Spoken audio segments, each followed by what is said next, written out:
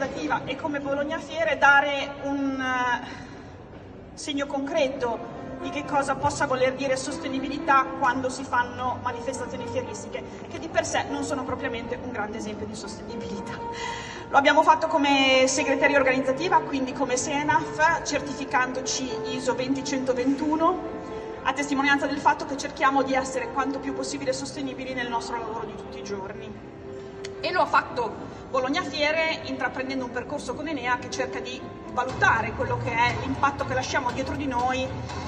direi per la cosa più ingombrante e più pesante che concretizziamo che sono gli allestimenti fieristici e in questo senso le chiedo di dirci due parole sul progetto, su che cosa va a valutare perché poi eh, premieremo l'azienda partecipante ad Ambiente Lavoro 2023 che meglio ha performato per lasciare dietro di sé un'impronta che fosse la più leggera possibile in termini di allestimenti. Certo, buona, buonasera a tutti.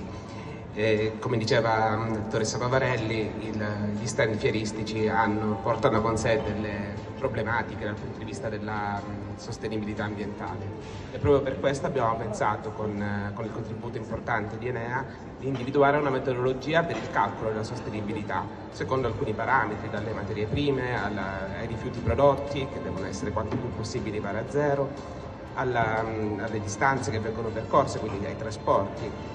e alla, soprattutto all'utilizzo di acqua, quindi delle materie prime. Tutto questo ha portato alla creazione di un questionario che è stato inviato agli espositori di ambiente lavoro, che è sempre molto attenta a queste tematiche, anzi ringraziamo perché ci permette di accrescere lo studio, perché abbiamo bisogno sempre di più dati per dare sempre più una maggiore valenza a questo studio importante che stiamo portando avanti. E quindi una volta ottenuti i risultati abbiamo individuato l'azienda che ha maggiormente diciamo, performato dal punto di vista della circolarità. E proprio in quattro parole diciamo, era quello che racconta il nostro progetto che stiamo continuando a portare avanti. Bene, allora senza ulteriori indugi perché è stata una giornata lunga per tutti, per la circolarità nella realizzazione degli spazi espositivi ad Ambiente Lavoro 2023 premiamo l'azienda Tarsos. Riceve il premio Beatrice Gotieri.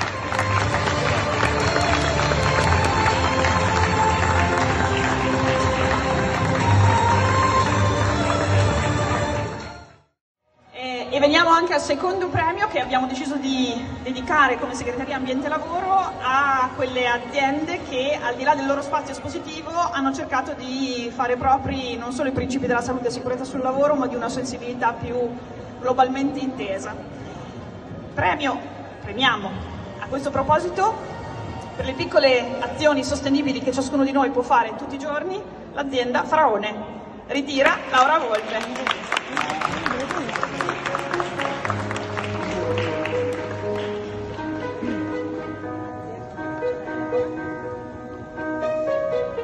Allora, per la volontà di essere sempre equamente rappresentati, maschile e femminile,